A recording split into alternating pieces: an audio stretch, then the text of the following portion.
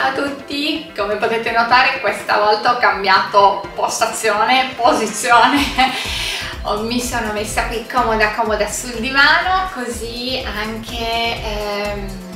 diciamo anche con voi sembra un pochino più una chiacchierata tra amici anche perché lo sapete che oltre a eh, realizzare tutorial per voi. Mi piace eh, avere questo rapporto di amicizia che ho con molti di voi con cui parliamo veramente un po' di tutto. Allora, prima di passare come sempre agli argomenti importanti, eh, vi dico subito quali sono stati i tutorial di questa settimana, ne sono usciti solo due perché sono andata eh, a un evento a Milano, ho incontrato alcuni di voi e sono stata molto molto contenta di conoscervi di persona anche perché ho conosciuto persone che non avevo mai incontrato prima d'ora, è stato molto divertente. Eh, alcuni sono rimasti a seguire tutti i laboratori fino alla sera e ehm, anche in questo diciamo in questa occasione comunque eh, mi è piaciuto scambiare comunque un po' di eh, esperienze di vita e di ovviamente creatività ecco Spero che eh, le persone che erano presenti quel giorno siano state comunque contente, state vedendo adesso alcune immagini di ciò che, eh, che abbiamo fatto insieme, ci saranno sicuramente altri eventi, so che molti di voi erano dispiaciuti di non essere potuti venire, ma ripeto, sicuramente ci saranno altre occasioni. Passando ai tutorial appunto che sono usciti questa settimana, vi parlo del primo che ehm, anche se non è un vero e proprio tutorial, in realtà vi ho fatto vedere che cosa ho preso di nuovo e eh, ho comprato una bellissima macchina da cucire elettronica perché sarà oggetto di nuovi tutorial che ehm, andrò a utilizzare insieme ovviamente alle macchine da taglio Cricut e alla stampante per sublimazione perché a volte abbiamo tante attrezzature ma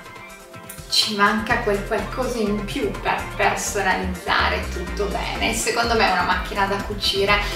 è molto importante, mettetela in conto tra le, se non ce l'avete già ovviamente, tra le cose che potrebbero comunque ehm, diciamo come dire, aumentare il tipo o aumentare, migliorare, insomma il tipo di proposte che andrete a fare poi ai vostri clienti. Il secondo tutorial è un tutorial molto più semplice e eh, riguarda la tecnica della sublimazione che siamo andati a fare per dei sottobicchieri segnaposto. Io ovviamente vi ho fatto vedere un esempio Pasqua, visto che siamo praticamente a Pasqua, però eh, la stessa procedura si può ripetere ovviamente anche per altri eventi, anche in questo caso proponeteli anche durante eh, i party, matrimoni, eh, non solo feste appunto tipo Pasqua, Natale, compleanno, cose di questo genere, ma anche cose un po' diverse da quelle diciamo classiche che vengono proposte normalmente. Si tende sempre a pensare che magari il sottobicchiere si utilizza così in famiglia, ma non è vero, si possono proporre anche durante eh, feste particolari, quindi mm, ripeto, party in genere, ma comunque anche eventi di altro, genere, di altro tipo. E poi invece una grande novità di cui voglio parlarvi è che ehm, a breve uscirà una nuova rubrica, si tratta di un video podcast, anzi di più video podcast, visto che si tratta appunto di una rubrica, dove andremo a parlare eh, con persone, io incontrerò diciamo così alcune persone ehm, che hanno esperienza eh, su diversi settori ehm,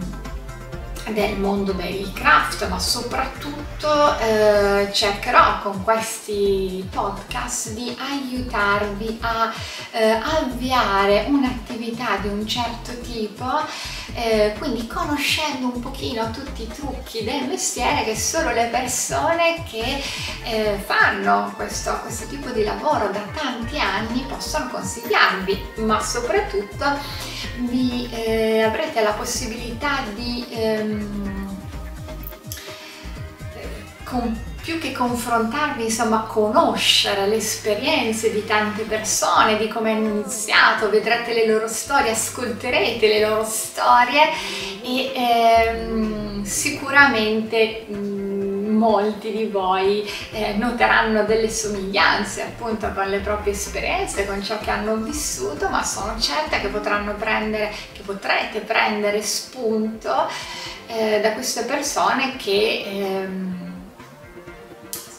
sono persone che io stimo molto, specialmente la prima, e non vi dico ancora chi è, comunque la prima persona che vedrete eh, nel video podcast. È una persona che stimo tantissimo, che secondo me è bravissima e sono eh, certa che mm, da lei potrete trarre tante tante informazioni importantissime. A questo punto vi lascio perché probabilmente siete già in preparazione per la Pasqua, quindi vi auguro una splendida festa, una splendida domenica in compagnia delle persone che amate e anche una bellissima Pasquetta. Ci rivediamo fra qualche giorno con nuovi tutorial. Ciao ciao!